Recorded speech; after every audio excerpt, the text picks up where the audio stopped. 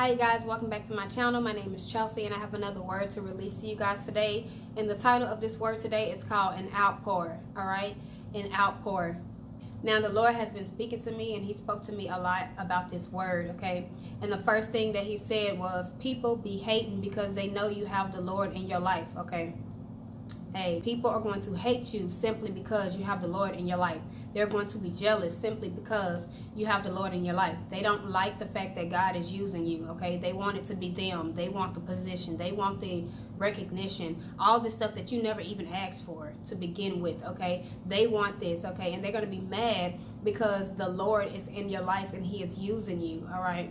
Certain people have not gotten in their relationship with the Lord where they're supposed to be and they see that God is elevating you and continuing to bless you and use you and push you up in the spirit, okay? Some of these people believe that they are better than you. They feel like they are wiser than you. They feel like they are more spiritual than you because they don't believe fully in what God is doing in your life. He has not completely shown them the power authority that he has given you in the earth and because he has not fully removed the blinds off their eyes, only enough for them to see that he is using you, but they still deny the fullness of God in you, then they can't see and they wouldn't even be able to take the wise and sound advice that God has shown you about the season that they're entering and the things that they are about to endure. They are upset because the Lord is in your life and he is using you and they're upset because they don't think it should be you. They don't think you deserve the position that God has given you, but God is going to show them when he's ready to show them the fullness of who you are.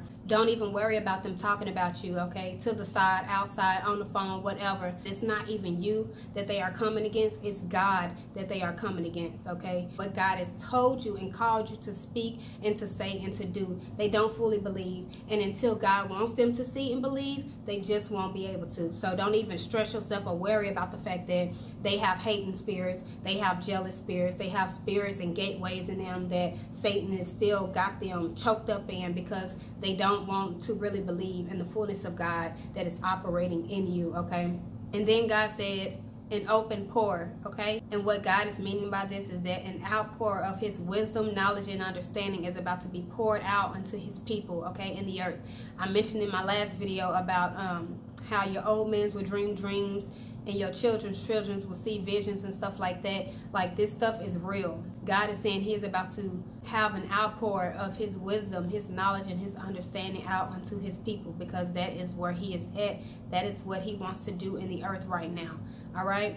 And then the Lord said, individual computers. Okay. God is saying he is about to give you a vision for your life okay maybe you've been wondering what you should be doing. He's kind of got you in a space where he wants you to sit down and just be intimate with him and figure things out that he wants you to do. The earth he is saying he is about to give you a vision okay about your life. He's about to give you a plan for your life about what he wants you to do for your life and not what you want to do okay? His will not yours and then I had a vision. I seen a tooth and a tool for pulling it out. Okay, God is saying He is about to heal some people from some things that have been bothering them, whether it's heartache, whether it's pain, whether it's trauma, whatever it is, sickness. He's about to heal. He's about to remove that dead thing, that dead tooth, that thing that don't belong. He's about to pull it out. He is about to remove it. Okay. And then I saw a girl from my past taking heed to what I said, okay? And this is just God saying that for those that are in the positions of authority and doing what God has called you to do and say and speak, God is saying that they are taking notice of you, the people from your past, whether it's an old friend, an old acquaintance, an old co-worker, whatever. They're paying attention and they are taking heed to the things you are saying because you are ultimately going to draw them closer to the Lord, okay? Which is great okay? Saving souls is what we need to be doing on the earth all right? Spreading the gospel of jesus christ. They are taking heed okay? And they are going to be closer to god because of you being in obedience to what god told you to do all right? God said coach what jesus said all right? God is saying he wants you to preach the message of jesus christ in the earth. You can't be a believer and be quiet about jesus christ thinking that just go to church on sundays and go about my business the rest of the week no. Okay, God is saying spread the gospel of Jesus Christ. Coach people, teach people about Jesus.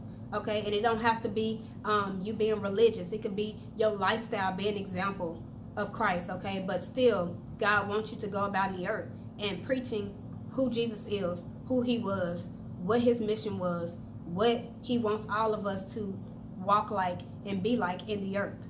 Okay? Coach what Jesus said. Show it and be it. Okay? The Lord then said, Bible scripture, me and her. Now, what God is saying this is a two-part message. God is saying me and her, meaning you and Holy Spirit, okay? For some people, if God is getting you into a season of isolation or a season of wilderness, this means he wants you and the Holy Spirit to be studying the word, okay? So you being able to sit with the Holy Spirit and allow him to give you truth and revelation is what he wants, okay? Studying the Bible with the Holy Spirit, okay? toning out all other voices. Now, on the flip side of this message, for some of you, God has you into a space to where you know certain people around you are not where you're at spiritually. Um, they believe that they are spiritually better than you and all of these things. They believe they are wiser than you. Um, and God has not told you to open your mouth about certain things um, because sometimes people can only understand God from where they're at. And if you have been through seasons that these people are now just about to enter, then there are certain things that they just wouldn't understand about what you understand. And so God is not calling you into fellowship with them, okay? But on the flip side of this, if God is putting it on your heart to study with someone, you will know this because God is showing you or telling you who this person is or who these people is that he wants you to be studying the word with, okay? So for some of you, it's Holy Spirit. You studying with Holy Spirit alone, okay? For others of you, you, he is putting on your heart to study or to um, fellowship with the Word of God with a specific person or with a group of people. And you will know because he has already been speaking that to you who those people are, okay? And so, yeah, that's what God said. And then the Lord said, hood rat culture isn't supposed to be cleaner than ours. All right, God is saying that the world should not be cleaner than the people that are saved, okay? The world should not look cleaner than the people that are saved. All right. You got the world. The Bible says evil will be good and good will be evil. You got the world looking more appetizing than Christ. Okay. The world should not look more appetizing than Christ does. Okay. And that's because the harvest is plentiful, but the laborers are few. There's a lot of comfortable Christians. Okay um, I don't put that title on me, but a lot of people call themselves Christians, and that's a whole level of comfortability right there, putting God in a box. Why is the world looking more appetizing than Jesus Christ? Okay, and God wants y'all to get out in the world, okay, and spreading Jesus Christ. You got people who are believers that are starting to think that the world looks more appetizing than God, and they've already been believing. And so something is wrong with that. And God is saying that the hood rat culture isn't supposed to look cleaner than ours. Okay? We are slacking in our belief in Jesus Christ. We are conforming in our belief in Jesus Christ. So if you ain't been doing the work for the Lord Jesus Christ in the earth, it's time to start. And if you lukewarm, okay, and you've been letting the world influence you, I encourage you to seek God more. I encourage you to be more intimate with Him in prayer and worship because there's nothing the world can give you that's better than what God can give you. The world can't offer you peace and joy. The world can't offer you salvation, but God can. Okay? Some of y'all need to get it together when it comes to what you are entertaining and what you um, believe in. All right? Because the world is not better than Christ. And that's not the image that believers should be giving off because some believers are lukewarm that they're giving off a different image. By the way they live in their life is different from what they preaching and teaching. They making people believe that the world is better than Christ. And that ain't it.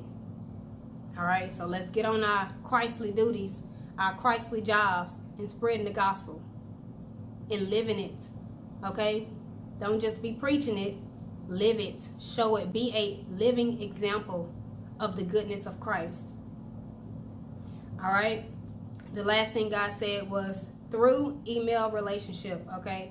And so God is saying that there is a relationship that is about to come about in your life for who this part of the word applies to through email, okay? So somebody's going to be reaching out to you, whether this is a friendship, a business relationship, a partnership of some kind, he said through email this relationship is going to happen. So for who that is for. It may be in your spirit, take it back to the Lord, but that is what the Lord is saying, okay? And so, yes, guys, God is saying an outpour of Jesus Christ is about to be coming upon the earth and is about to be coming upon the world, okay? Who God wants to be saved in this world will be saved. God's will will be done in the earth. An outpour of the Lord is about to be poured out into the earth. And so that's all I have for you guys in this word today. Make sure you guys follow me on social media. Facebook is Chelsie J, J A I. Instagram is at underscore Chelsie J, the letter J. And TikTok is Chelsie.jai. I will see y'all in the next video, and y'all have a blessed day. Bye.